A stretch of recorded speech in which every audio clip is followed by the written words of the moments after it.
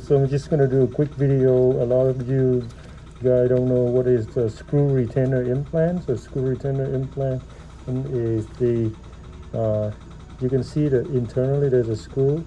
The uh, the lap already uh, bond the abutment and the crown together.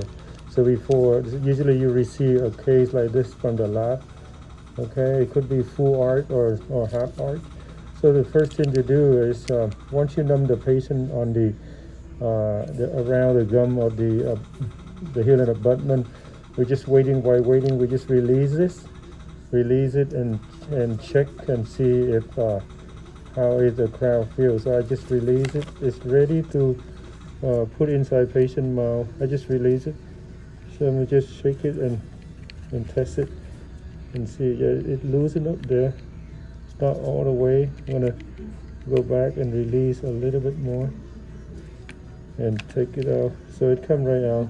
So you see the screw and then the the gold abutment and the crown. That's what's called screw retainer implant.